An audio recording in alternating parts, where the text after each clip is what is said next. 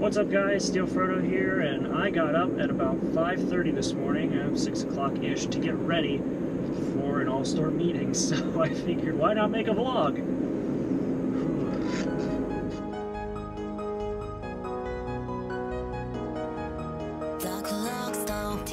Forever How long have I been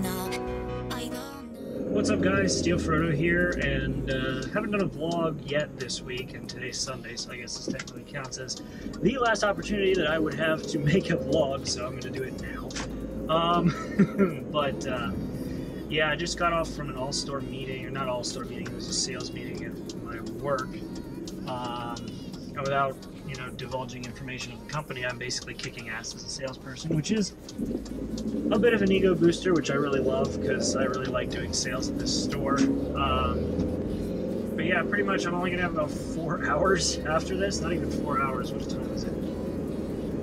It's ten. Was that ten twenty six or something like that? So basically, I'm gonna have time to go home, throw this vlog together, I got a little couple other things, and then I'm gonna work on. I'm working on a new cover, and uh, I've got to do the uh, drums for it and the acoustic guitar part for it, and pretty much I'm gonna put Q&A Saturday again on the back burner because it's one of those things where I've got a bunch of other projects that I want to and need to get done. And Q&A Saturday, unfortunately, is not on the top of that list because, as odd as it seems, because you think that answering questions would be nice and easy, a lot of the times curating the questions, making sure that I got it all right, and all that kind of stuff, while also doing all the other videos that I do, tends to be a bit of a pain in the ass and very time consuming.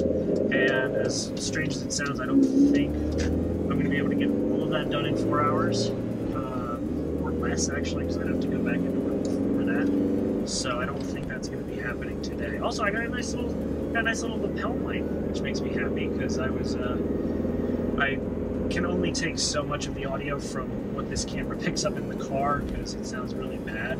Um, yeah, so that's that's the thing. Also, I have uh, until I can find until further notice, basically, until I can find a better video editor for uh, for the iPad Pro, I have given up on editing on that iPad Pro. While I get it, iMovie did kind of get the job done. There are just way too many things that I that I need to use, like in Final Cut, for example. There's way too many things that I need in Final Cut that iMovie can't provide. Like, um, I started this last week when I was, um, I started this last week when I was doing the downtown vlog, and uh, yeah, it was kind of a pain, and it got to a point where I was actually trying to overlay um, background audio.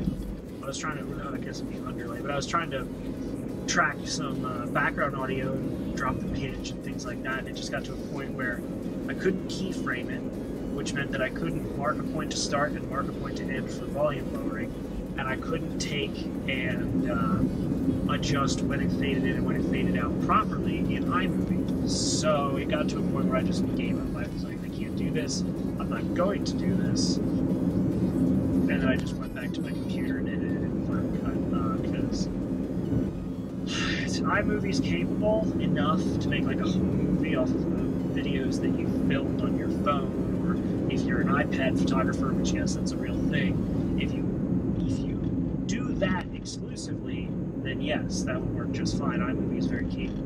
Good God, it was nightmare trying to do it on my iPad. Like, you know, trying to do it on my iPad as somebody who does it more or less professionally. I've done it professionally before, working with Final Cut, working with Adobe Premiere, and there's just you're used to that are not there and probably never will be there. Now, if you guys do have any suggestions for, you know, anything uh, that would be a better video editor on the iPad Pro, if any of you guys have experience with that, let me know because I, uh, I'm still doing my research, but I guess we'll see.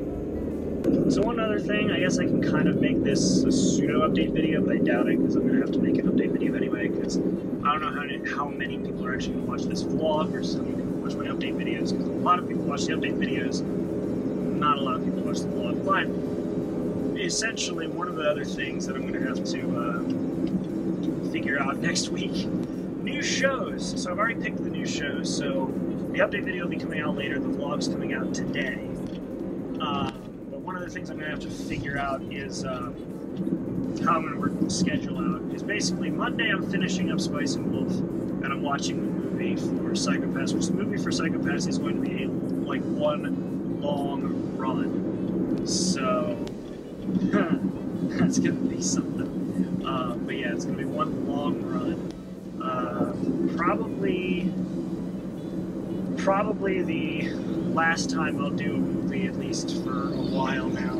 At least that's the hope, because I hate I love watching the movies and I hate editing and doing the reactions for the movies because it's just so long. You have to keep energy up for so long to do that. Um, but I'm probably gonna, you know, come back to it at some point. But anyway, after those, for you, you guys who watch the vlog, you'll know this before anybody who watches the update videos. I will be doing interviews with monster girls, Je- uh, Demi-chan wa Katari or Katari or something like that. Uh, interviews with monster girls, and then. Um, Miss Kobayashi's Dragon Maids is the other one that I'll be watching because I have seen enough gifs of that, and uh, I watched the opening for it, and I'm actually going to be doing a drum cover of the opening, which I'm really, really excited to try because it seems like a lot of fun. Um, haven't watched the opening for interviews with Monster Girls.